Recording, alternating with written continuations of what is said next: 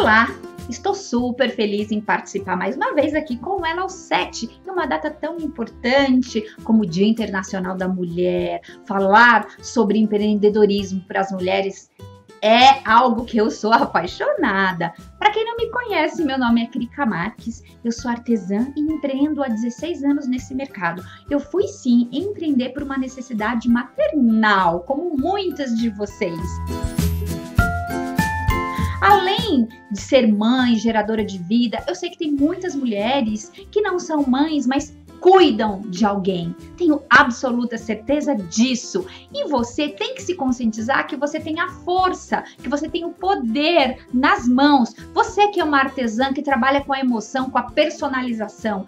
Hoje está super em alta esse trabalho. As pessoas querem algo realmente diferente, feito um a um, não aquela coisa mais industrializada, algo que foi feito com carinho, com amor, pensado naquela pessoa, né, naquele seu cliente. Então então isso está super em evidência e você tem que se conscientizar disso e tornar esse seu trabalho realmente é, importante. Mas para que, que as pessoas é, te vejam dessa forma, primeiro você, você, mulher, tem que se enxergar como uma artesã, uma empreendedora e que você faz a diferença numa sociedade. Nós que somos mães, além desse dom maravilhoso do artesanato, a gente tem que educar os nossos filhos e educar todo o entorno. E para quem não é mãe, né, que tem uma família e que a gente tem aí um histórico de que o artesanato era algo que não era lucrativo, então você vai ter que realmente educar a sua casa, né, colocar isso, é, colocar isso como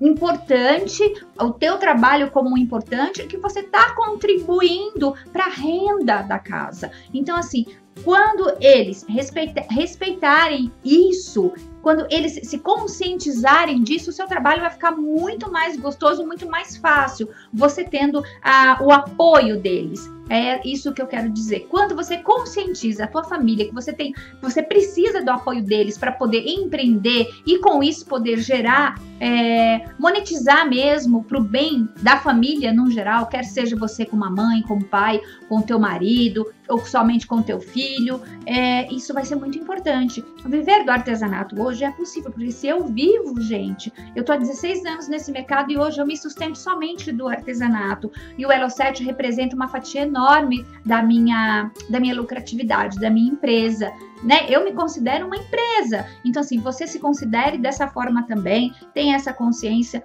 A gente tem aí uma facilidade muito grande de informação e capacitação com vários canais, com marketplace aí como o Elo7. Então, aproveite todas as informações que tem lá no blog, que tem em outros lugares também. Eu tenho certeza que o seu sonho de ser uma artesã de sucesso vai se realizar. E muitas de vocês, como eu, é, já estou realizada. Mas, mas é, os desafios são diários. Nunca se esqueça disso. O sucesso do passado não vai garantir o sucesso do seu futuro. Então, é trabalho todos os dias, capacitação todos os dias e a gente conscientiza que a gente tem um papel fundamental na sociedade. Mulheres maravilhosas, lindas! Eu sou super orgulhosa de ser mulher e ser artesã também. Um super beijo e nos vemos no próximo vídeo. Tchau, tchau!